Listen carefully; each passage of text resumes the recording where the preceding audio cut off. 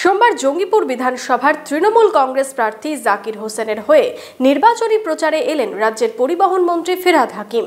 এদিন প্রার্থী জাকির হোসেনকে সঙ্গে নিয়ে সভা করেন তিনি। কেনাকাটার বস্ত্র বিপণী মনমোহিনী, বনেদিয়ানার সেরা ঠিকানা মনমোহিনী।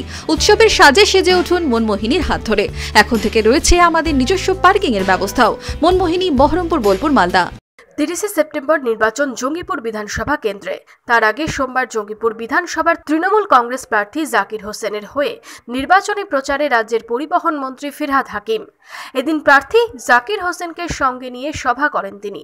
সভার শুরুতে মন্ত্রী ফিরাদ হাকিমকে ফুলের মালা পরিয়ে বরণ করে নেওয়া হয়। জাকির হোসেনকে পাশে নিয়ে মমতা ব্যানার্জির হাত শক্ত করার ডাক দেন মঞ্চ থেকে।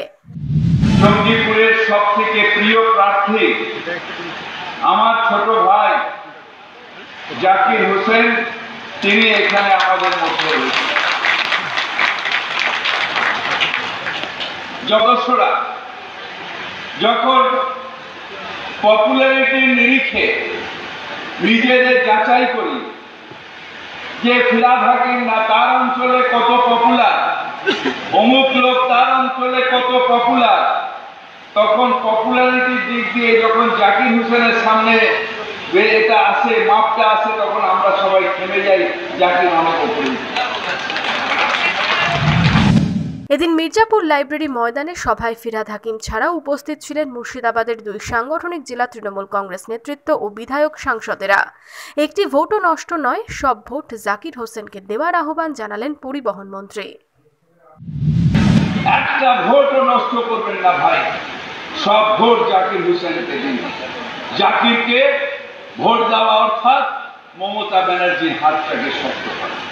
মমতা ব্যানার্জির হাতকে শক্ত করা। জাকিরকে ভোট দেওয়ার অর্থ বাংলায় সাম্প্রদায়িক শক্তিকে রুখে দেওয়া।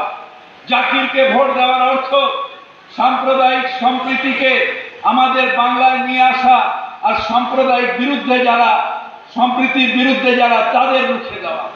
জাকিরকে ভোট দেওয়া বাংলার উন্নয়নকে অগ্রগতি বজায় রাখা। বা জাকিরকে ভোট দেওয়া বাংলার দিকে দিকে কলকারখানা নতুনভাবে যেগুলো আসছে সেগুলোকে উৎসাহ দেওয়া।